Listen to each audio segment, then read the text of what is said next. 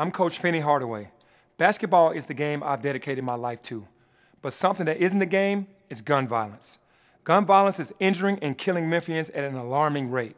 As a gun violence survivor myself, I know the devastating effects that gun use is having on our friends, our families, and our communities.